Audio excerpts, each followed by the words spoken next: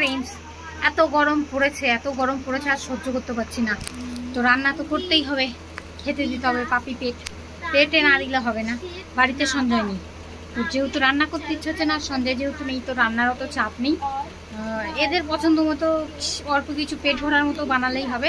তো হঠাৎ করে মাথায় একটা আইডিয়া আসলো, সেটা বানাচ্ছি। চলুন শেয়ার করি আপনাদের সঙ্গে। টমেটো কুচি করে নিয়েছি, আর এদিকে হচ্ছে কয়েকটা সয়াবিন আর একটা আলু কেটে এই যে সেদ্ধ বসিয়েছি। এখানে হচ্ছে এই যে একটু বেসন, আর এর উপরে হচ্ছে আটা, আর আটা আর একটু দেবো আনতে হবে। তো এই যে চা ছাননি এটা। চা ছাননি দিয়ে এই চেলে চেলে একটু আটা নিয়ে নিই।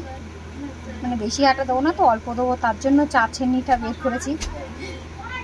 তো পরিমাণ মতো আটা নিয়ে নিয়েছি, দিচ্ছি হচ্ছে সামান্য একটু লবণ, আর এটাকে এবার মিক্স করব।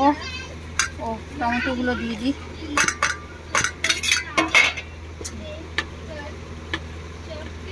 আমি চাকু দিয়ে কুচি কুচি করে নিয়েছি, এতটা লাগবে না, ওগুলো রেখে দিয়েছি।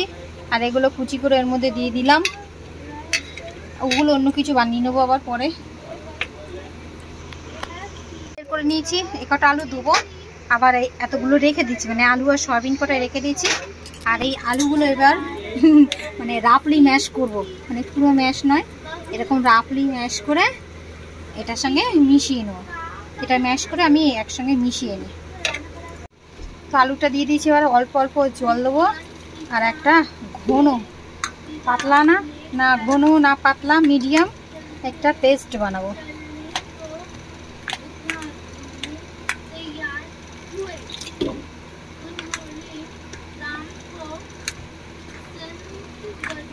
এর মধ্যে হচ্ছে দেবো সামান্য একটু জিরের গুঁড়ো, ভাজা জিরেটা ভেজে বেশ গুঁড়ো করা। এটাকে একসঙ্গে মিক্স করে কিছুক্ষণ রেখে দেবো।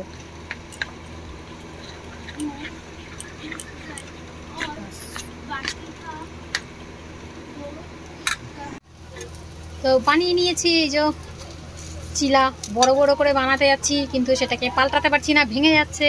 তার জন্য এরকম ছোট ছোট করে বানালাম, বেশ সুন্দর হয়েছে। খেয়ে বলছে বেশ ইয়ামি হয়েছে। দিয়েছি হালকা করে একটু তেল। আর এদিকে যে দিয়ে দিলাম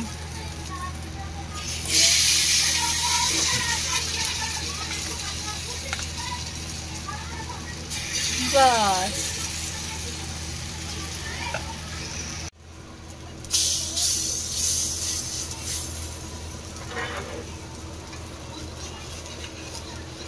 इधर तेरा कच्चा है पलट देता हूँ कोई नहीं पक जाएगा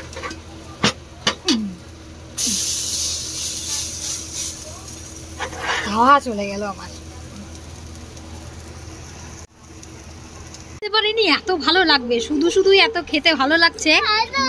আর সঙ্গে তো আমি মানে ঝাল টক আচারটা নিয়েছি। এটার সঙ্গে খেতেও আরও ভালো লাগছে। তো মিষ্টি। হুম।